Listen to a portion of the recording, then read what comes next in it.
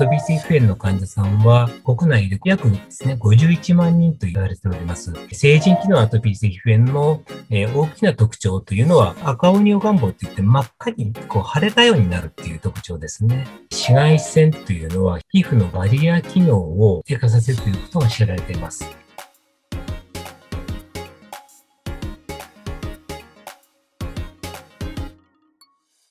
えー、千葉県松戸市で皮膚科を開業しております、豊田正彦と申します。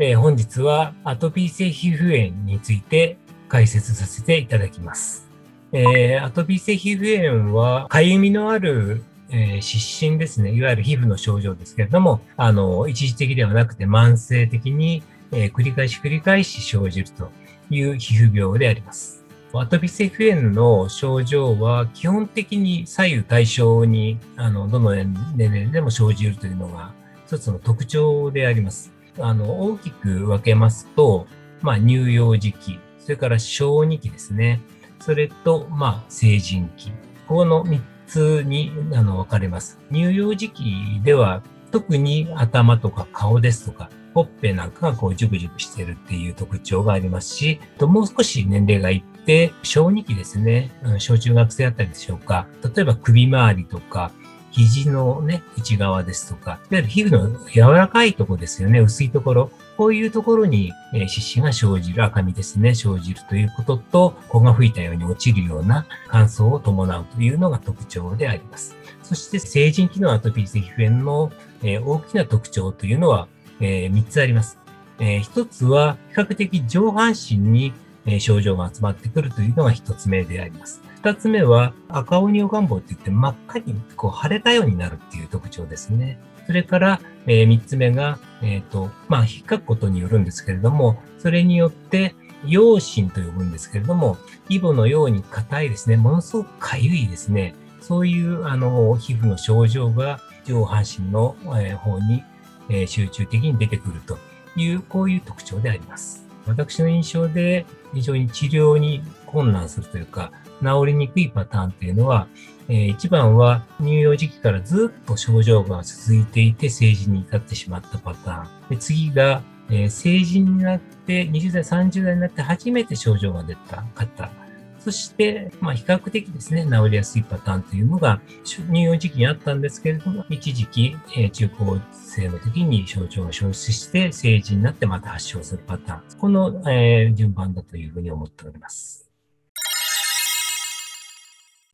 えー、アトピー性皮膚炎の原因は未だ完全には明らかにはなっておりません。ですが、大きく言いますと、遺伝的、体質的な要因ですね、というものに加えて、環境的な要因っていうものが加わって、えー、発症する。それで、その体質的な要因というのは、一つは、そのアレルギー素因といってアレルギーを生じやすいパターン。そしてもう一つは肌素因とあの言いますけれども、いわゆる肌が弱いとよく言いますね、いうあのパターン。これが体質的な要因だというふうに思います。で、環境的な要因に関しては、一つは、いわゆるアレルゲンと呼ぶんですけれども、例えばよくあのハウスダストとかダニっていうのを聞いたことあると思うんですけれども、その人特有のアレルギーを持っているというパターンですね。それが環境的要因の代表。それから、その他の環境的要因として、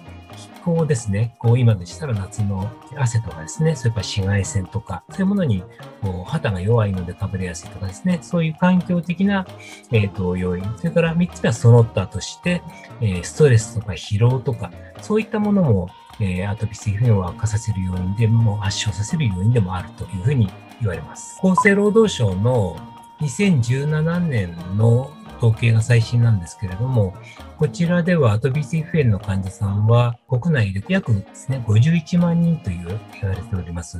9年前の2008年の統計で、え35万人と言われてますので、9年間の間に16万人増えていることになります。えアトピー性皮膚炎の患者さんはもう増加傾向にあるということは間違いないと思います。それから、ここ数年のコロナの影響でしょうかね。これはコロナストレスとも言いますね。コロナ禍に入って、あの患者さんがさらにあの増えて来院されるケースですね。そして、えー、しかも重症の患者さんが増えたという状況が実際のクリニックで見受けられるという傾向があると思います。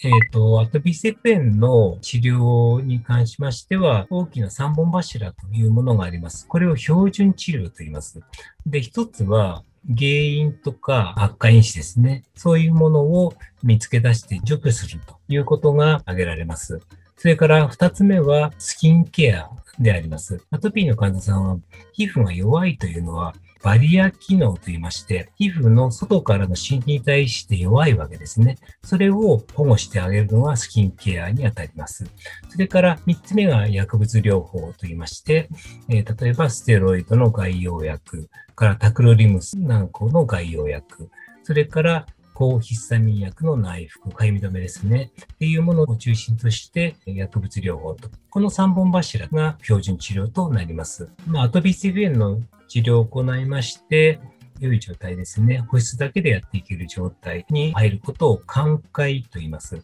で、寛解しても慢性的に症状を繰り返すのがアトピー性皮膚炎の特徴であります。繰り返しを起こさないというために、現在行われている治療がプロアクティブ療法と言います。薬の塗る量を減らしたり、薬の塗る回数ですね。そういうものを例えば毎日塗ってたものを1日置き、そしてそれでも大丈夫であれば、えー、さらに週に2回とかいうふうに間を空けていく、それを行っていくことによって、結果的にはぶり返しを防ぐことができますし、トータルのステロイド外用薬の使用量とか強さ、そういうものも減少できるということが証明されております。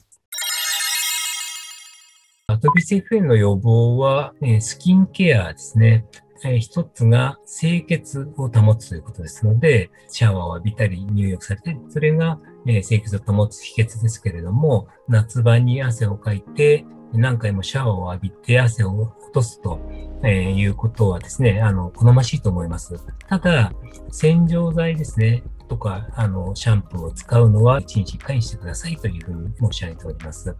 その理由は、え、皮膚の表面には皮脂膜というですね、皮膚を守っている大切な膜があります。で、一日何回も使うと、その膜が、まあ、あの取れちゃうんですね。それで取れすぎちゃうと、皮膚が乾燥しますので、1日1回にしてくださいというふうに、あの、えー、申し上げております。それともう一つは、保湿のスキンケアで、これが最も大事になってくると思われます。ます保湿で大事なことはですね、非常にその入浴後が一番乾燥するというふうに言われておりますので、えー、入浴後ですね、特に入念にえ保湿をしていただきたいというふうに思います。で、その保湿の仕方、保湿剤の選び方に関しても医師の指示に従っていただけたらいいかなと思います。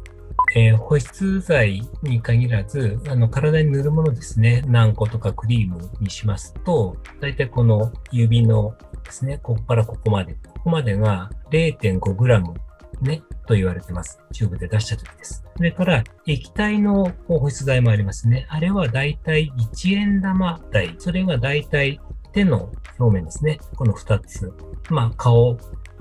面積ですね。に相当すると言われております。それ以下だと足りないですし、それ以上を塗る必要は私はないと思いますね。特にアトピー性皮膚炎の患者さんでは、